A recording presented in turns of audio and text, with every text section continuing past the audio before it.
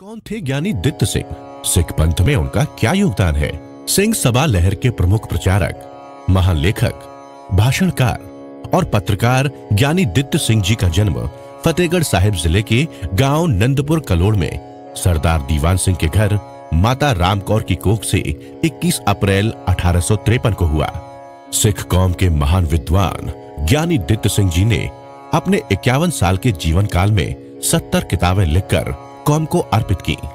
1873 ईस्वी में जब ईसाई मिशनरियों ने पंजाब में ईसाई धर्म का प्रचार करना आरंभ किया तो सिखों की नई पीढ़ी सिखी से दूर होने लगी। उस समय दित्त सिंह जी ने प्रोफेसर गुरुमुख सिंह के साथ मिलकर सिखी का प्रचार किया, तथा नौजवानों को सिखी सिद्धांतों के साथ जोड़ने के लिए अनेकों यत्न किए। ज्ञानी दित्त सिंह जी ने अपने ज्ञान से स्वामी दयानंद जैसे विद्वान को धार्मिक बहसों में चार बार हराया था।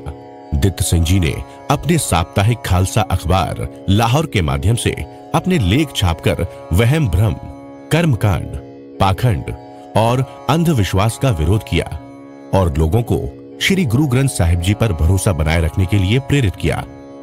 पचास साल की उम्र में एक संस्था की तरह सिख पंथ के सुधार और विकास के लिए काम करने वाले ज्ञानी दित्य सिंह जी ने 6 सितंबर 1901 ईस्वी में दुनिया को अलविदा कह दिया।